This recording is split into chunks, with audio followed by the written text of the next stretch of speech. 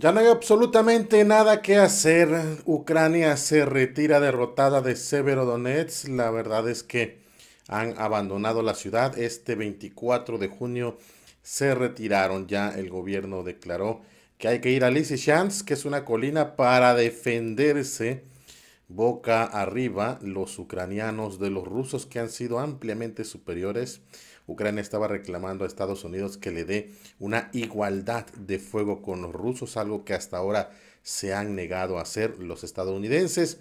Moscú ya reaccionó a eh, la candidatura de Ucrania.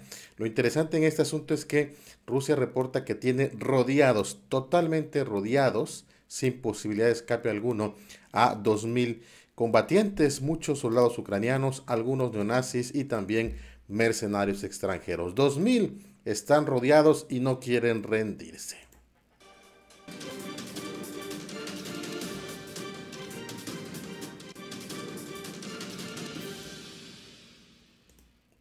Hola amigas y amigos, qué gusto saludarlos en el canal. Gracias que están viendo los videos. Muchas gracias por todo su apoyo, por todo su respaldo. Bueno, fíjense que eh, eh, ha ocurrido que Ucrania está, pues ya se retiró de Severodonetsk, que era una de las ciudades claves en el Donbass, donde estaban los fuertes enfrentamientos de las últimas semanas. Ya no hay nada que hacer, finalmente la situación está perdida completamente. El gobernador local, obviamente de los, del lado ucraniano, dijo que pues ya no hay nada que hacer, que mejor se van a ir a otro lado.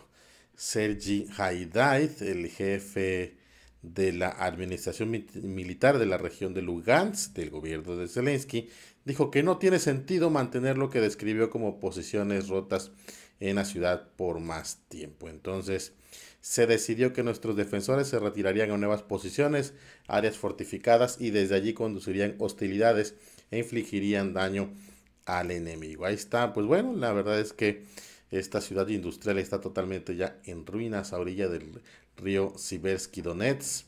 El, eh, pues ahí está en lo que se está comentando. Ahora todo va hacia Lysychansk, que es la ciudad de enfrente, del otro lado del río, por eso son ciudades gemelas. Allá es una colina, entonces ahí se van a subir los ucranianos para tratar de eh, poner las cosas a su favor. Eso es lo que se estaba comentando este viernes 24 de junio. Lo interesante en todo esto es que, bueno, también Lizzie Chance tiene una situación difícil. El mismo jefe de la administración militar ucraniana decía que los bombardeos cerca de las líneas de suministro que van hacia Chance fueron incesantes. Lo, este, Seri Haidai, jefe de la, administración militar, dijo que al viernes por la mañana los rusos habían ganado más terreno en la ciudad de Lysychansk durante la noche.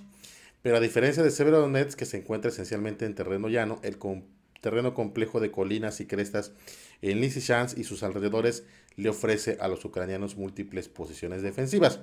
Decía él, el enemigo presiona mucho ya que tiene fuerzas significativamente superiores a las nuestras, dijo y agregó que las fuerzas rusas también estaban tratando de infiltrarse en la ciudad de Nisishans con grupos subversivos de reconocimientos más pequeños. Rechazamos los intentos de adentrarse en la ciudad, dijo. Sin embargo, dijo que oleada tras oleada los ataques rusos habían creado una situación muy difícil. Así que es, pues son cuestiones de tiempo el tema de Lysychansk, Severodonetsk ya han huido completamente.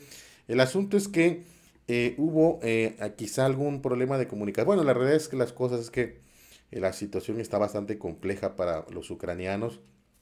Ellos hubo, desde hace unas semanas se advirtió que había zonas amplias en las que podían quedar completamente rodeadas por la forma en la que se estaba moviendo el ejército ruso. Y finalmente hay un grupo de 2.000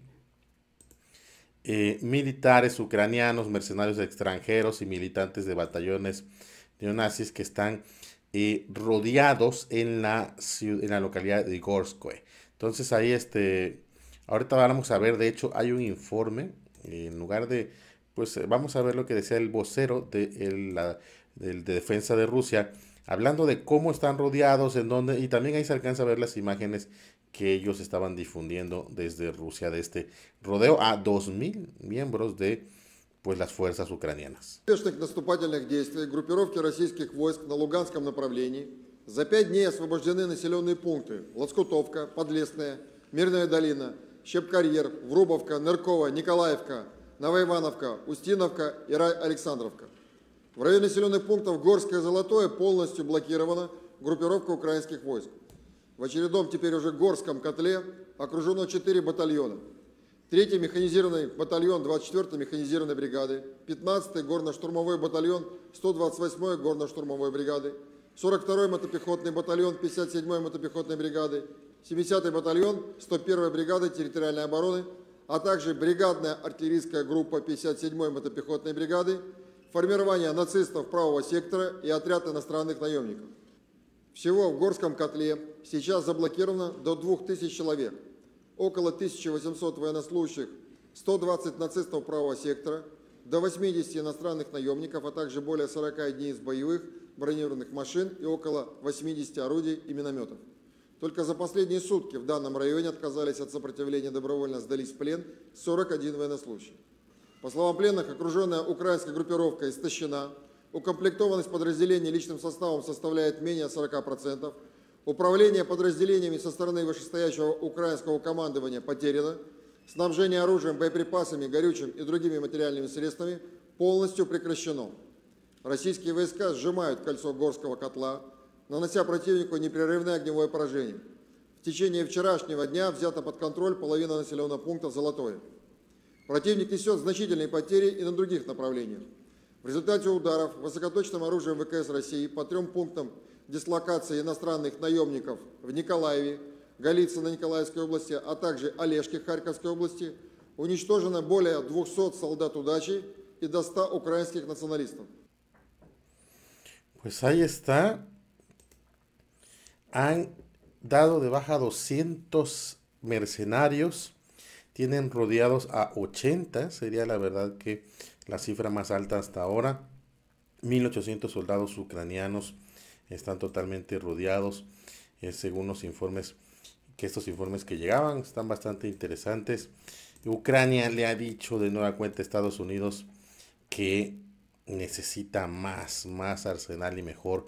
Ucrania volvió a presionar el viernes por más arsenal y su general de mayor rango, Valery Salushny, le dijo a su homólogo estadounidense, obviamente que se entiende que a Lloyd Austin, en una llamada telefónica que Kiev necesitaba paridad de fuego con Moscú para estabilizar la situación en Luhansk. Bueno, más bien creo que habría hablado con Mark Milley, ¿no? Porque el jefe de Valery Saluzhniv eh, sería obviamente que el ministro de defensa ucraniano. Entonces, eh, el jefe del Estado Mayor Mark Milley. Entonces, eh, ahí está el asunto.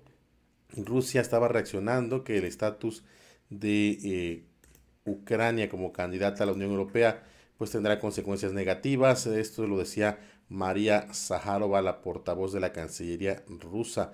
Con la decisión de otorgar a Ucrania y Moldavia el estatus de países candidatos, la Unión Europea ha confirmado que continúa explotando activamente la comunidad de estados independientes a nivel geopolítico para usarla para contener a Rusia, dijo en un comunicado. No están pensando en las consecuencias negativas de tal paso. Pero bueno, finalmente parece como suele decir el, vocero del Kremlin, eh, Dmitry Peskov, señalando eh, con ironía, ¿no? Que Estados Unidos está dispuesto a pelear en Ucrania hasta el último soldado ucraniano. O sea, qué situación tan difícil la que viven los ucranianos, en verdad, el pueblo, la población civil y los soldados ucranianos lanzados a una guerra que francamente tiene más intereses de Europa y de Estados Unidos que ya de los propios ucranianos. Gracias por estar en este canal, por ver estos videos.